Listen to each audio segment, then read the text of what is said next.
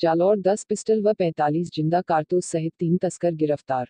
Jalore, SOG ने जालौर ज़िले के भीनमाल कस्बे में शनिवार को 10 पिस्टल व 45 ज़िंदा कारतूस के साथ तीन तस्करों को गिरफ़्तार किया है।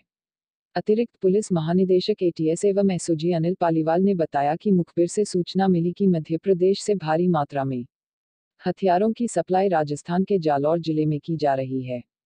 इस सूचना पर एसओजी की एक टीम भीनमाल जालौर रवाना की। पालीवाल ने बताया जहाँ पर मुखबिर की सूचना पर भीनमाल में जालौर रोड पर श्री कृष्णा महल होटल के सामने नाकाबंदी की गई। नाकाबंदी के दौरान जालौर की तरफ़ से एक मोटरसाइकिल पर आ रहे तीन व्यक्तियों को रोककर तलाशी ली गई।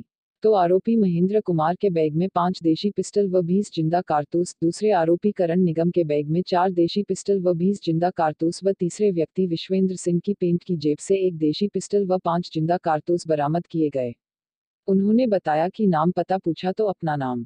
महेंद्र कुमार पुत्र श्री छगन लाल बाईस निवासी भागल सेफ्टा थाना भीमाल करण निगम पुत्र फूल सिंह, अट्ठाईस निवासी कनकवालपुरा घंतलाव थाना गंधवानी जिला धार मध्य प्रदेश व विश्वेंद्र सिंह राठौड़ पुत्र लक्ष्मण सिंह, चौबीस निवासी कुशलापुरा थाना भीनमाल जिला जालौर होना बताया। पालीवाल ने बताया कि तीनों को मौके से गिरफ़्तार किया गया। अभियुक्तों के कब्जे से मिली मोटरसाइकिल महेंद्र के मित्र मीचंद पुरोहित के नाम से रजिस्टर्ड होना ज्ञात हुआ है। उन्होंने बताया कि पूछताछ से ज्ञात हुआ कि उक्त हथियार मध्य प्रदेश के धार से लाए गए हैं तथा इन्हें जालौर के भीनमाल क्षेत्र में सप्लाई किया जाना था। सीएनआई न्यूज़ जालौर से उम्मीद सिंह, राजपुरोहित की रिपोर्ट।